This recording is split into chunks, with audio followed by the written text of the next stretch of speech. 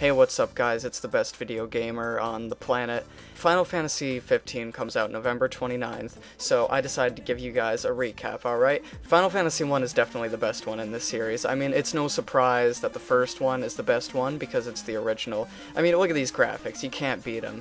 And, you know, Final Fantasy 1 was old school before it was cool, you know, before all the, these other games started copying it. You know, I mean, Final Fantasy 1 invented storytelling like, and I, I mean, you know, you play as a bunch of dudes who have no names, and I mean, obviously this game was inspired by Clint Eastwood. My only problem with this game is that you can't name any of your characters, but that's okay because at the end of the day, who doesn't want to beat up Satan? You know, it's the it's it's really good. It's really good, and at the end, there's an infinite time loop. Isn't that amazing? Final Fantasy II definitely the worst one in the series. I mean, they let all that success go to their heads, and it's just terrible. I mean, you have to name your characters in this one.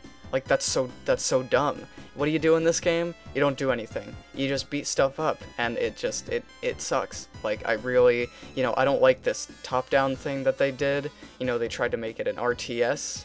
You know, like it, like that's not cool. That's not cool. It's just it's not good. I don't like it. Bad very bad. Final Fantasy III. After Final Fantasy II's terrible reception, they decided to remake the game that started it all. They remade Final Fantasy I, only they made all the characters children instead. You know, I give it a 3 out of 5. It's alright. Final Fantasy IV.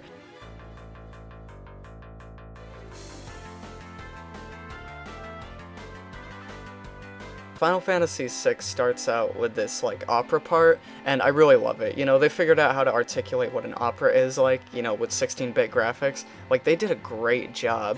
Um, you play as Batman, Alfred, Wonder Woman, Catwoman, Martian Manhunter, and Marvin the Martian too, and basically you chase after Joker the whole game, but he wins in the end when he becomes a god.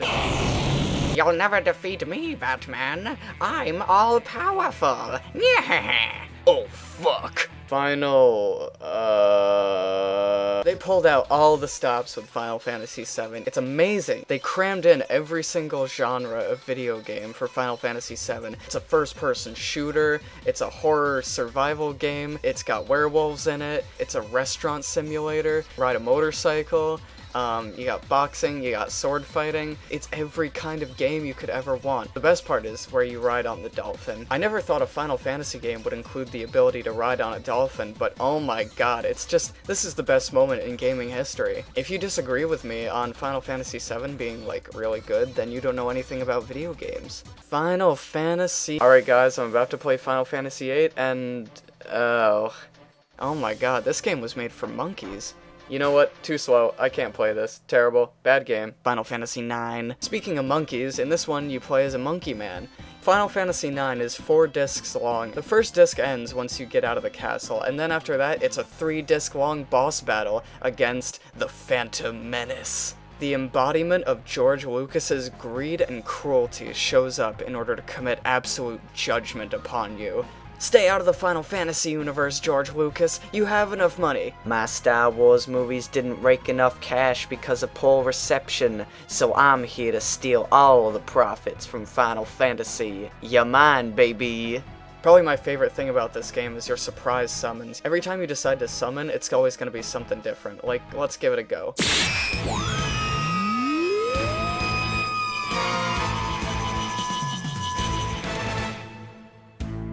George Lucas, you've gone too far. Your greed knows no bounds. I'm here to stop you, you billionaire scum. You can't stop me, Bernie.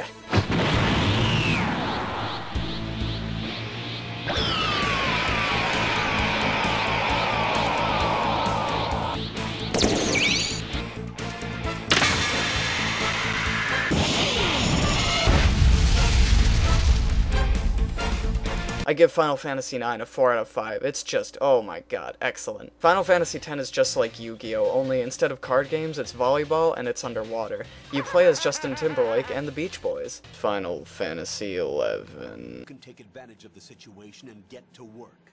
There's a terminal in front of the elevator. A node. Did you say nerd? Not nerd. Node.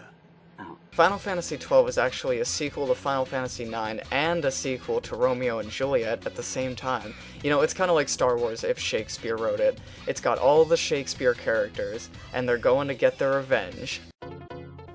Final Fantasy XIII is like so boring. I mean, all you do is walk around this house and you get treasures occasionally. I'm not gonna lie, Final Fantasy XIII almost made me feel like video games are dumb and boring. Like, I really, I really didn't like Final Fantasy XIII. Final Fantasy 14. We're missing footage here. When I saw the first trailer to Final Fantasy 15, I thought it was gonna be terrible. Look, ripping off the ending of Grease, ripping off of Battlefield 4, ripping off of Final Fantasy 7. But you know what? I saw the most recent trailer, and I changed my mind. It looks gorgeous. You have to play as a boy band on a quest to restore funk music to the planet. I just, I can't wait. They might as well call it Final Final Fantasy because it's just gonna be the best one ever.